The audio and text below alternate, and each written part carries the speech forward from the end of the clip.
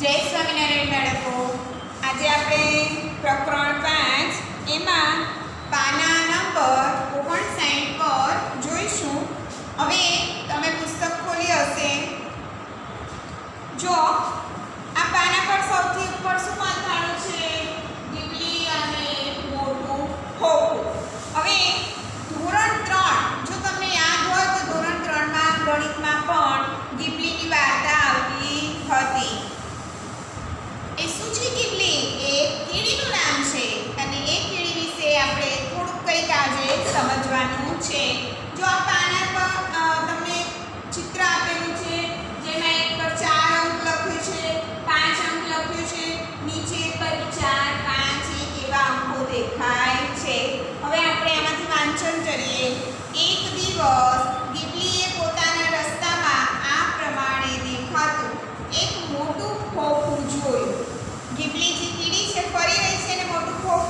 હવે કીબલી તેના ફરતે ચાલી. ડાબી તરફ વળી. હવે તેને મોટા ખોખાની બીજી સપાટી જોઈ કે ડાબી બાજુ શું છે? ડીબલી પૂછે આ તે કેવું ખોખું? તેને કપ પર ચડીને જોવાનો પ્રયત્ન કર્યો. ખોખું. હવે આ ત્રીજું ચિત્ર છે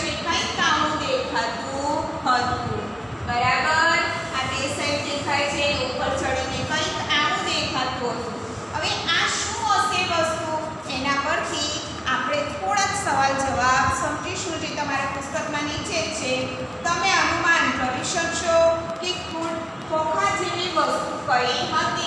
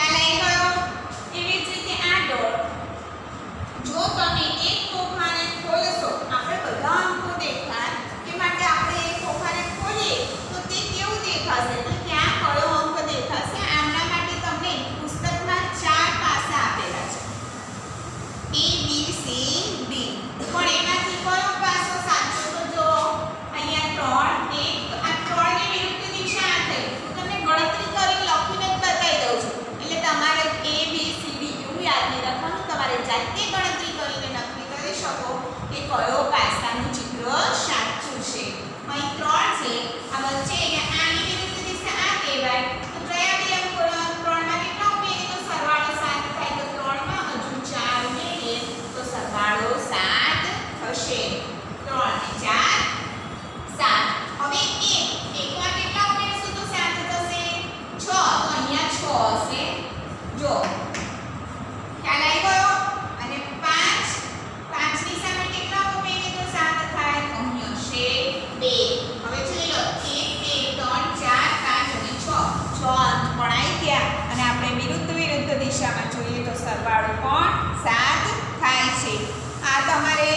સાત સીડીના પાસાનું આટલું હતું, હવે તમે જાતે ઘરે પ્રવૃત્તિ કરી શકો.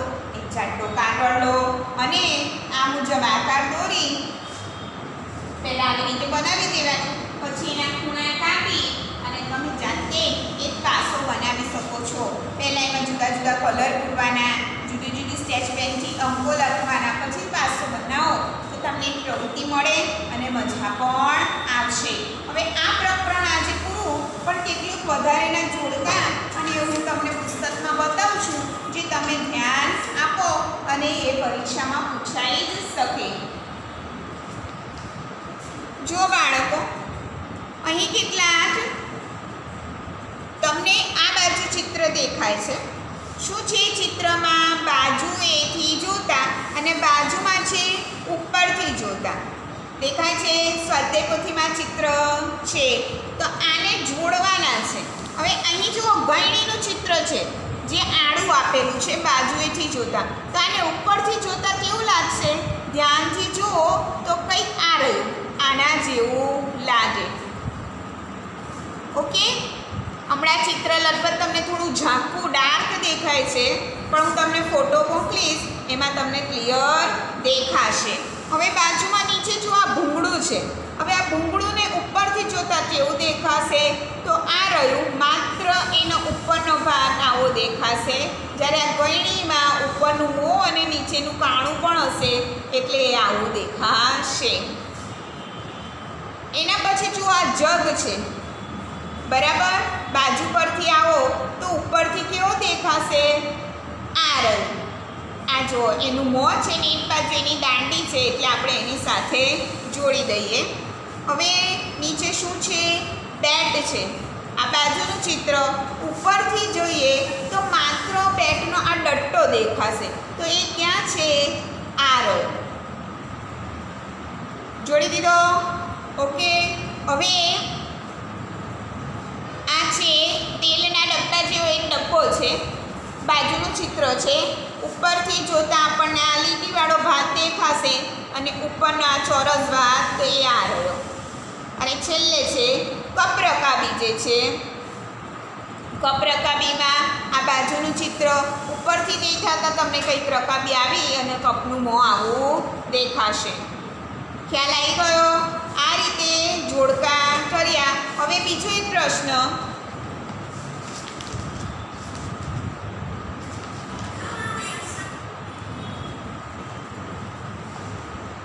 જો બાળકો અહીં એક નકશો આપેલો છે બરાબર? હવે જો બાળકો અહીં એક નકશો આપેલો છે, જે બાળકો જોડે સ્વાધ્યાય પોથી હોય ને એ સ્વાધ્યાય પોથીમાં ખોલીને જોશો તો ખ્યાલ આવશે. હવે આ નકશામાં પણ જો તમે દવાખાનું, પછી ચર્ચનો રોડ, ચર્ચ, મંદિર, સોનુનું ઘર, કોલેજ, પછી બાગ શાળા એ બધું દર્શાવેલું છે ને આના પરથી હું શું હોય, સવાલ જવાબ હોય, તો હું તમે ચિત્ર જુઓ, હું તમને સવાલ જવાબ કહું પહેલો સવાલ છે, કોલેજ સોનુના ઘરથી કઈ બાજુ છે? જો આ ટોયલેટ છે અને આ છે સોનુનું ઘર ઓપ્શન આપેલા છે સામેની બાજુ, પાછળની બાજુ કે ડાબી બાજુ? તો કોલેજ ક્યાં છે, સામેની બાજુ છે. હવે બીજો સવાલ, શાળાની સૌથી નજીક શું છે? પહેલાં તો આપણે શાળા જોઈએ, ક્યાં છે? શાળા આરે. શાળાની સૌથી નજીક શું છે? એમાંય ત્રણ ઓપ્શન છે મંદિર. ના, એ તો દૂર છે. બીજું છે સોનુનું ઘર. અને ત્રીજું છે કોલેજ. તો સૌથી નજીક શું પડે? શાળાથી સૌથી નજીક કોલેજ પડે છે. એટલે તમારો જવાબ આવશે કોલેજ. આગળ નવો પ્રશ્ન છે. ચર્ચથી ચર્ચથી સૌથી દૂર શું છે? ચર્ચ એનાથી સૌથી દૂર શું છે? એમાં ત્રણ ઓપ્શન છે. દવાખાનું આ રહ્યું એ તો નજીક છે. મંદિર એ પણ નજીક છે. અને શાળા હા. શાળા દૂર છે. તો આપણો જવાબ આવશે શાળા. ચોથો પ્રશ્ન મંદિરની સામેની બાજુ શું નથી? સામેની બાજુ શું નથી? મંદિરની સામે. ચર્ચ હા, સામે જ છે. પછી દવાખાનું એ પણ આ રહ્યું. અને બાગ, હા, બાગ સામે નથી, એ બાજુ પડશે. એટલે આનો જવાબ આવશે બાગ. ચર્ચ કોની કોની વચ્ચે છે? તો ચર્ચ તમે ધ્યાનથી જુઓ, તો સોનુનું ઘર અને બાગ એની વચ્ચે છે. ના, બીજું ઓપ્શન છે શાળા અને કોલેજ. ના કશું છે જ નહીં.